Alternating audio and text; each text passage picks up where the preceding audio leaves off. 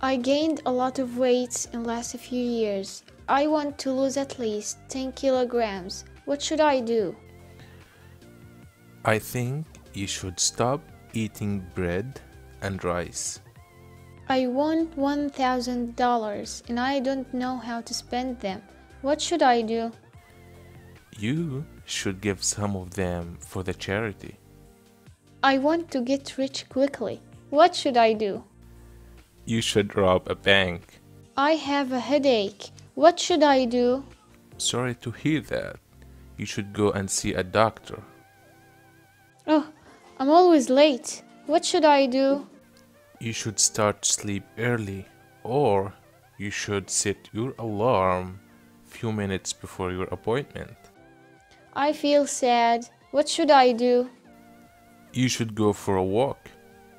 I want to quit smoking. What should I do? Okay, you might try doing exercises every day.